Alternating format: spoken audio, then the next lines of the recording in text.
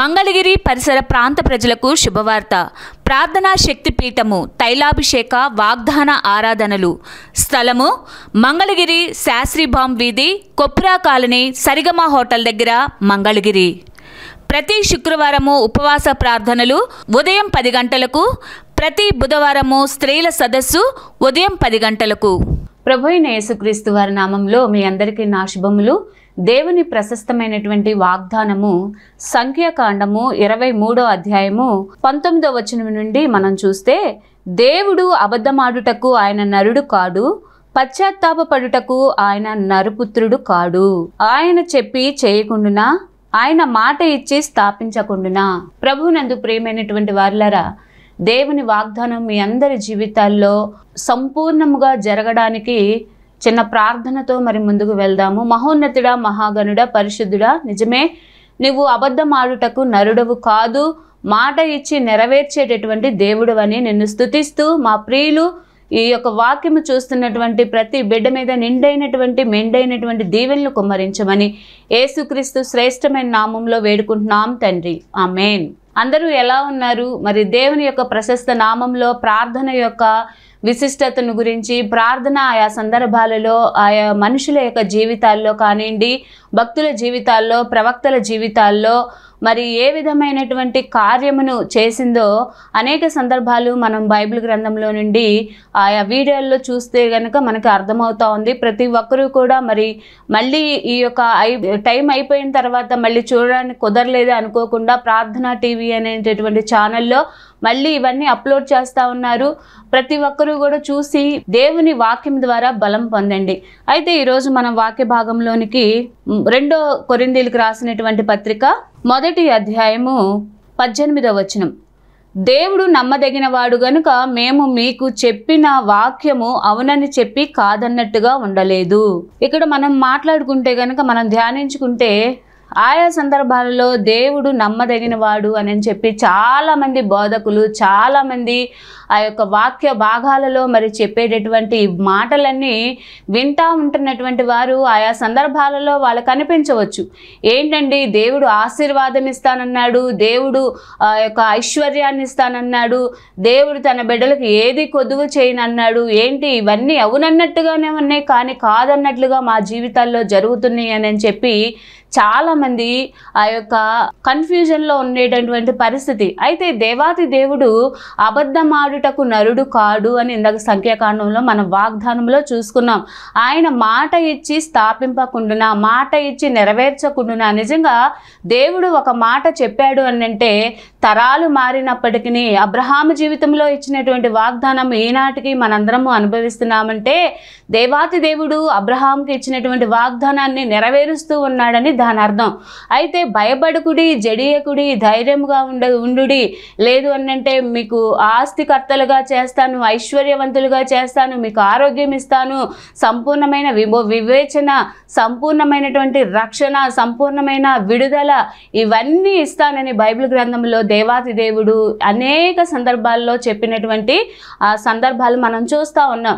అయితే ఎందుకు ఇవన్నీ మానవుడు పొందుకోలేకపోతున్నాడు. ఎందుకు సంతరించుకు తన జీవితంలో అన్వయించుకోలేకపోతున్నాడు అని అంటే దేవుడు వాగ్దానం చేసిన దేవుడు నమ్మదగిన వాడే. కానీ మానవుడు మాత్రం ఆ యొక్క వాగ్దానాన్ని తన జీవితంలో పొందుకోవడానికి తగిన సమయము దేవుని పట్ల వాడు కనపరచట్లేదు కాబట్టి ఆ విషయాల్లో జయము పొందుకోలేకపోతా ఉన్నాడు. అయితే దేవాతి దేవుడు అబ్రహాము జీవితంలో తను ఇచ్చినటువంటి వాగ్దానము ఇదిగో నువ్వు నీ నీ దేశం నుండి నీ బంధువుల యొద్ద నుండి దేవుడు రమ్మన్నప్పుడు తూచా తప్పకోకుండా మారు మాట్లాడుకోకుండా వచ్చినటువంటి అబ్రహాము జీవితంలో గొప్ప ఆశీర్వాదం ఏంటంటే ఇదిగో నిన్ను దీవించు వారిని నేను దీవిస్తాను నిన్ను శపించు వారిని నేను శపిస్తాను నిన్ను గొప్ప జన్మగా చేస్తాను. ఇసుక రేణువుల వలె నీ యొక్క సంతానం ఉంటుంది.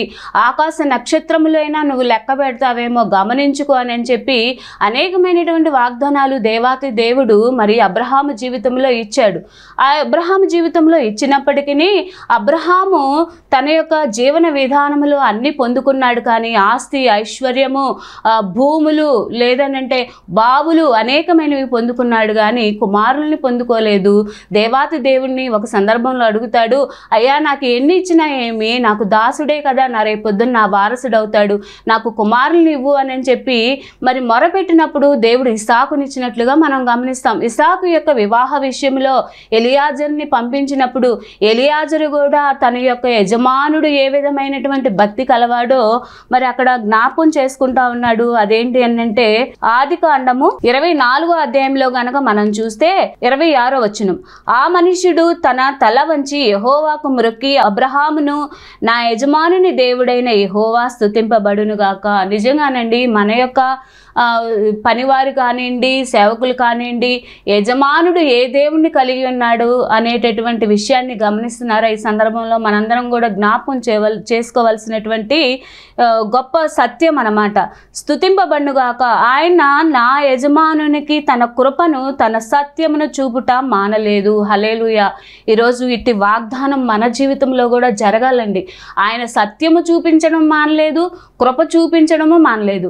ఆయన ఇస్తానన్న ఈవులన్నీ ఇచ్చాడు. ఆయన చేసినటువంటి వాగ్దానాలన్నీ ఒక్కొక్కటి నెరవేర్చుకుంటూ నిర్ణయ కాలంలో ఆ యొక్క వాగ్దానాలన్నీ తన భక్తుడైన అబ్రహాము పట్ల జరిగిస్తూ ఉన్న దేవునికి స్థుతులు చెల్లిస్తూ నేను త్రోవలో నుండగానే యహోవా నా యజమానుని బంధువుల ఇంటికి నన్ను నడిపించెను.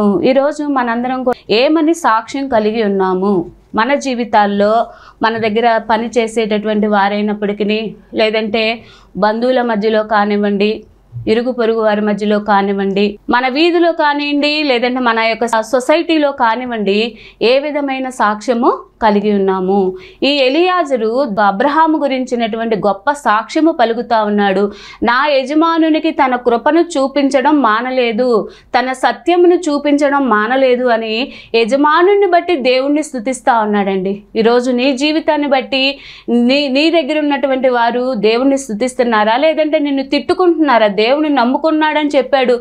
ఇదిగో ఈయన చేసేదంతా పనికి మాలిన పనులు అనే ఏ సాక్ష్యం కలిగి ఉన్నావో మొట్టమొదటిగా ఈ వాక్యం వినేటటువంటి ప్రతి ఒక్కరూ కూడా గమనించుకోవాల్సినటువంటి విషయము. ఆయన అబద్ధమాడుటకు నరుడు కాడు. చాలామంది ప్రతి సంవత్సరానికి ఒకసారి వాగ్దానాలు తీసుకుంటారు.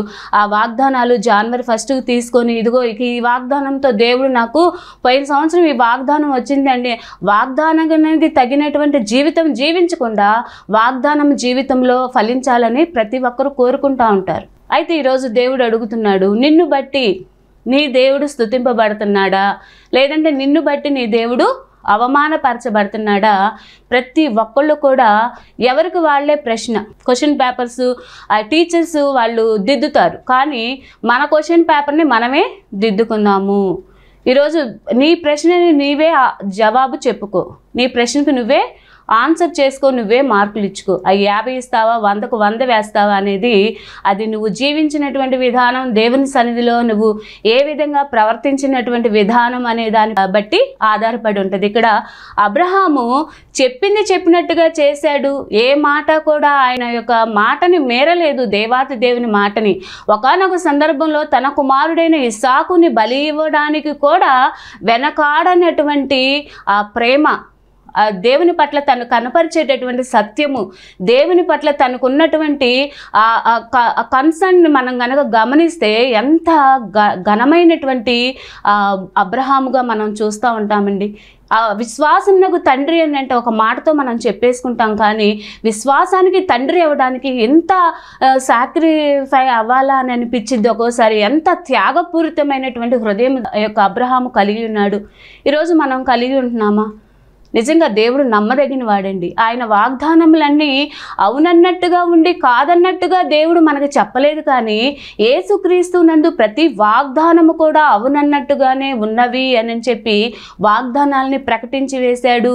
బైబిల్ గ్రంథంలో ఉన్న వాగ్దానాలన్నీ కూడా అవన్నీ నీకు నాకు సంతరించేలాగా ప్రభు అయిన యేసుక్రీస్తు వారు మన పట్ల విమోచన క్రయధనమును చెల్లించారు. ఆ రోజుల్లో దేవాతి దేవుడు తన మహా ఐశ్వర్యము చొప్పున కృపను అనుగ్రహించి ఈ రోజుల్లో క్రొత్త నిబంధన కాలంలో మనం చూస్తే కనుక తన ప్రియ కుమారుడైన యేసుక్రీస్తు ప్రభువారు ఎందు అన్ని అవునన్నట్టుగానే అన్ని వాగ్దానములు అవునన్నట్టుగానే ఉన్నాయి. ఈ వాగ్దానాలు అన్ని వడ్డించేశారు వార్చి వడ్డించారు. అది తినటమే తినటానికి ప్రయాసపడాలి. నడవాలి ముందు కొంచెం. ఒక పెళ్ళికి వెళ్ళినప్పుడు పెళ్ళికి వెళితేనే ఆ యొక్క విందు భోజనంలో మనకి ఎంతో తృప్తికరమైనటువంటి అవన్నీ ఐటమ్స్ అన్నీ తినవచ్చు. ఇక్కడ దేవాతి దేవుడు కూడా అన్ని వాగ్దానాలు ఇచ్చాడు. ఇవి స్వతంత్రించుకోవడానికి నువ్వు చేయవలసిన పనులు ఇక్కడ మనము గమనిద్దాము. అయితే ఎంత ఆశీర్వదించినటువంటి దేవుడు? మరి ఈ యొక్క అబ్రహాము ఆయా సందర్భాల్లో ఎందుకు ప్రార్థన చేయవలసి వచ్చింది? అయ్యా మళ్ళీ నాకు అన్నీ ఇచ్చావు నాకు బిడ్డలు లేరు అని ఎందుకు ప్రార్థన చేయవలసి వచ్చింది? ముందే దేవుడు ఇచ్చేసాడుగా వెంట వెంటనే వెంట వెంటనే వన్ బై వన్. అలా కాదు కానీ బిడ్డలు ఏ విధంగా క్రమక్రమంగా పెరుగుతూ ఉండంటే క్రమక్రమంగా తల్లిదండ్రులు వాళ్ళ అవసరాలను తీరుస్తూ ఉంటారో దేవాతి దేవుడు కూడా ఇచ్చినటువంటి వాగ్దానాల్ని ఆయా సందర్భాలని బట్టి దేవుడు మనకి అనుగ్రహించే దేవుడుగా ఉన్నాడు.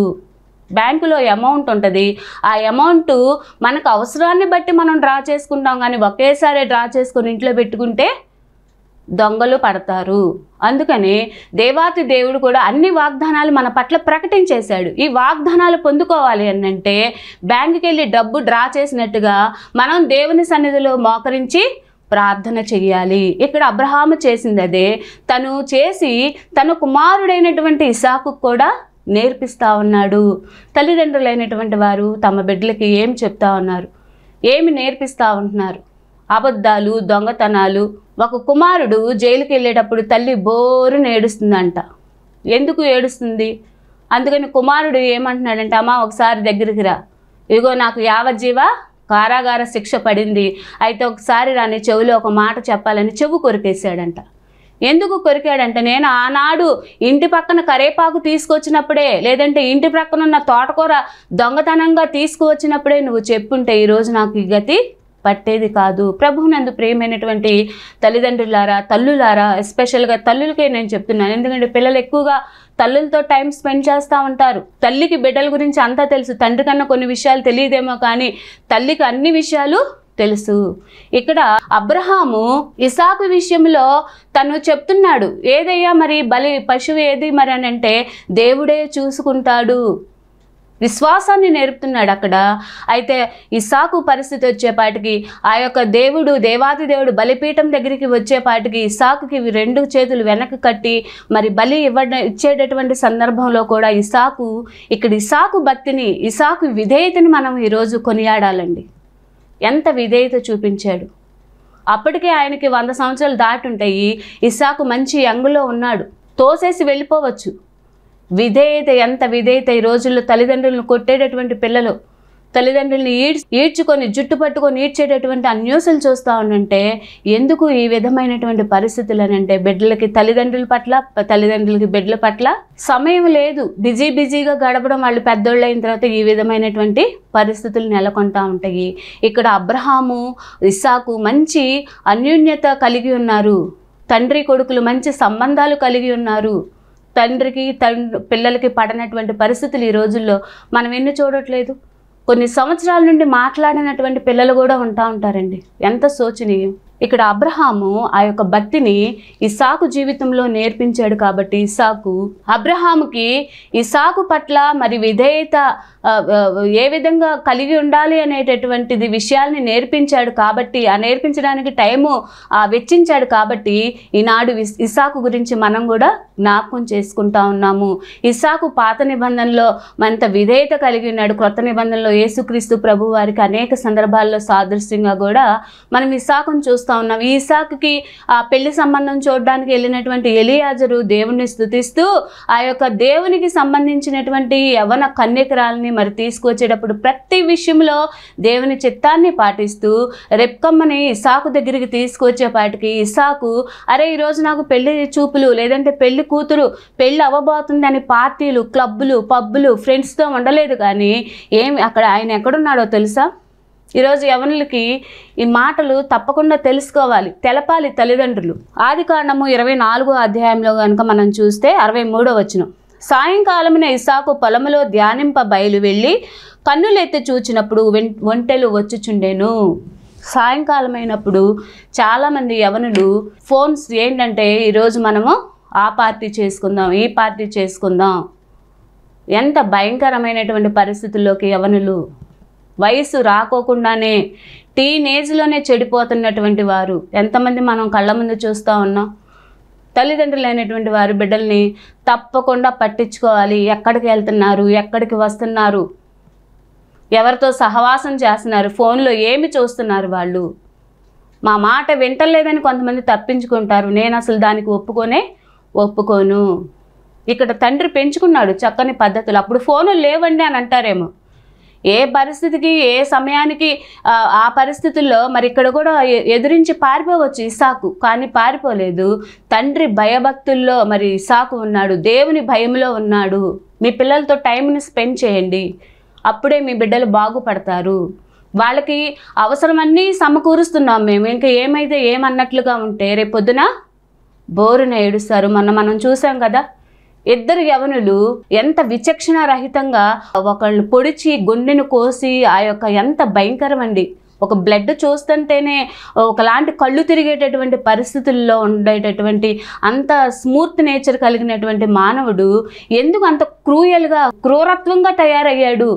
ఒక జంతువు కనుక ఆ యొక్క అడవిలో ఒక ఒకదాని మీద పడి ఒకటి చీల్చుకొని చంపుకు తిన్నట్లుగా ఎందుకు మానవుడు ఈరోజు తయారవుతున్నాడంటే తల్లిదండ్రులు వాళ్ళ దగ్గర టైము స్పెండ్ చేయట్లేదు.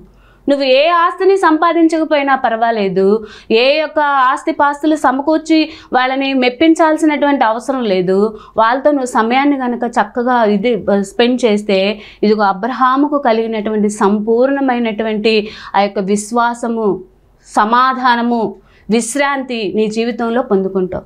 ఇక్కడ ఇసాక్ ఏం చేస్తున్నాడంటే దాదాపుగా నలభై సంవత్సరాలు ఉంటే ఈ ఇసాకు సాయంకాలమున మరి ఆ యొక్క పొలములో ధ్యానింప వెళ్ళెను వివాహమునకు ముందు ప్రార్థన చేస్తూ ఉన్నాడు. ఈరోజు ఈ వివాహమునకు ముందు ప్రార్థనలు ఉండవు. ఎవరంటే వాళ్ళు లవ్ మ్యారేజెస్ వస్తూ ఉన్నాయి. అయితే ఇసాక్ ఏం చేశాడంటే ఆవిడని తీసుకొచ్చిన తర్వాత ఆ యొక్క వివాహము చేసుకున్న తర్వాత ప్రేమించాను. ప్రేమించి పెళ్ళి చేసుకున్న యాకోబు పరిస్థితి ఏమైంది? పెళ్ళి చేసుకొని ప్రేమించినటువంటి ఏసావు ఏ విధమైన భక్తి మార్గంలో ఉన్నాడో ఈరోజు మనము గమనించాల్సినటువంటి పని ఎంతైనా ప్రతి ఒక్కరికి కూడా ఉన్నది. ఇసాకు ఆ యొక్క కుటుంబ జీవితంలో కుటుంబీకుడు అవ్వడానికి ప్రార్థన చేస్తూ ఉన్నాడు. తర్వాత మనం గనక గమనించుకుంటే ఇరవై ఐదో అధ్యాయంలో ఆదికాండము ఇరవై ఐదో అధ్యాయము ఇరవై ఒకటో వచనం.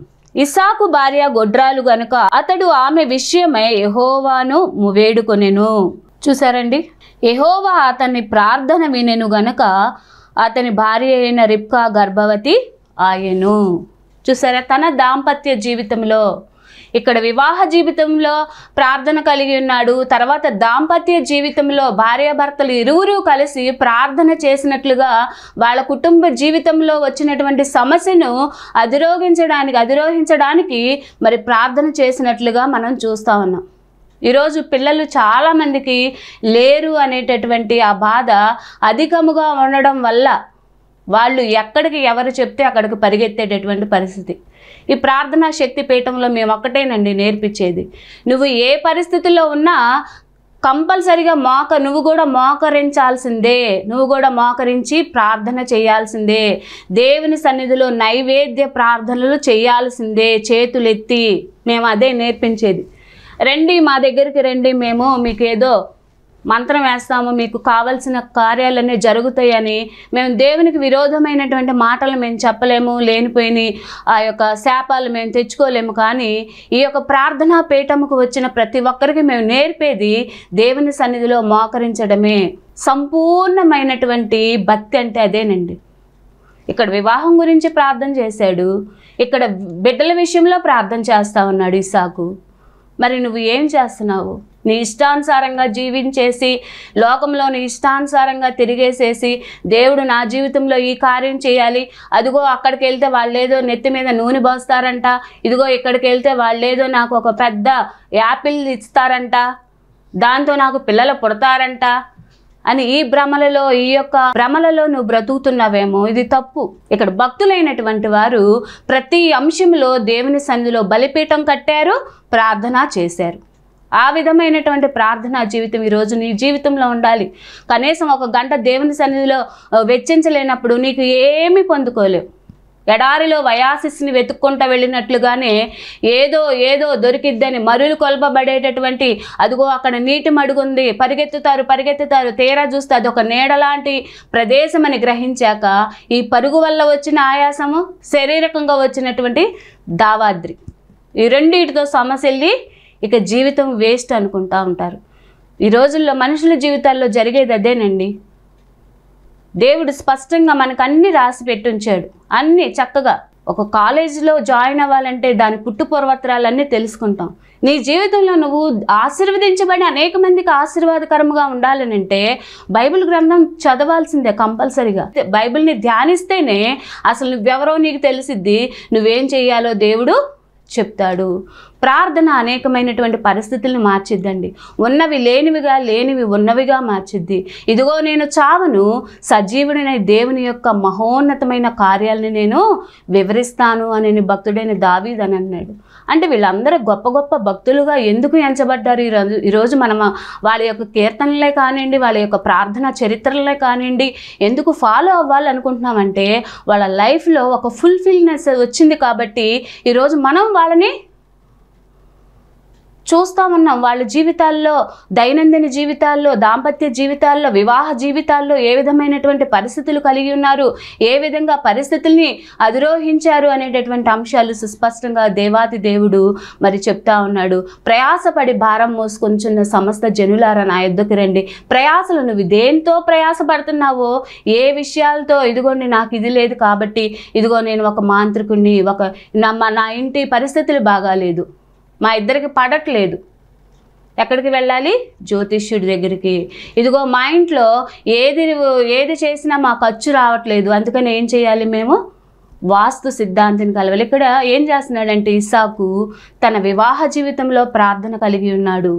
తన దాంపత్య జీవితంలో బిడ్డలు లేని పరిస్థితిలో భార్యాభర్తలు ఇరువురు కలిసి దేవుని సన్నిధిలో మొరపెట్టారు. ఆ తర్వాత తన జీవన విధానము లేదనంటే తన వ్యాపార సంబంధమైనటువంటి వాటిలో కూడా ఏ విధమైనటువంటి అంశాలు మరి కలిగి ఉన్నాడు? అదే ఆదికాండము ఇరవై ఆరో అధ్యాయంలో కనుక మనం చూస్తే పన్నెండవ వచనం. ఇసాకు ఆ దేశమందున్నవాడే విత్తనము వేసి ఆ సంవత్సరము నూరంతలు ఫలము పొందెను. ఎహోవా అతనిని ఆశీర్వదించెను గనుక ఆ మనుష్యుడు గొప్పవాడాయేను. చూడండి ఎహోవా ఆశీర్వదించాడు కాబట్టి గొప్పవాడు అయ్యాడు.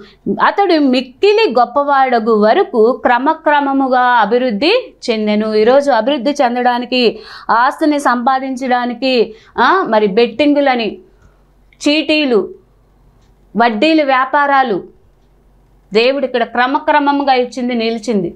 ఎప్పుడైనా చూడండి కొన్ని వృక్షాలు వెంటనే పెరిగిపోతాయి.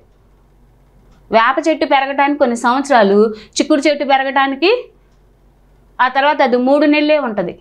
ఇక్కడ దేవుడు కూడా ఏమంటున్నాడంటే చూడండి పద్నాలుగో వచ్చిన అతనికి గొర్రెల ఆస్తియు గొడ్ల ఆస్తియు దాసుల గొప్ప సమూహమును కలిగినందున ఫిలిస్తీన్లు అతని ఎందు అసూయపడిరి. నిజంగా దేవుడు ఎంత ఆశీర్వాదం ఇచ్చాడండి అతని తండ్రి అయిన అబ్రహాము దినములలో అతని తండ్రి దాసులు త్రవ్విన బావులన్నింటినీ మరి ఇక్కడ ఈయనకు వచ్చినటువంటి ఆ యొక్క ధనాన్ని బట్టి కానివ్వండి ఆశీర్వాదాన్ని బట్టి కానివ్వండి మరి ఈయన తన తండ్రి సమయంలో ఆ యొక్క బావులన్నీ పూర్తి చేసినటువంటి ఫిలిస్తీన్లకు విరోధంగా మళ్ళీ మూడు బావులు తవ్వాడు.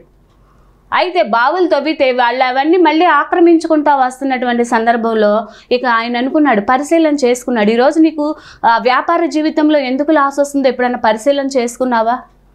అక్కడ వడ్డీలకి తెచ్చి ఇక్కడ వడ్డీలు తెచ్చి మళ్ళీ వ్యాపారంలో పెట్టి మునిగింది చాలక మళ్ళీ వడ్డీలు పాలవ్వటం. ఇట్లా కాదు అప్పులు పాలయ్యేది. అయితే ఇక్కడ ఇసాక్ ఏం చేస్తున్నాడో చూద్దాం.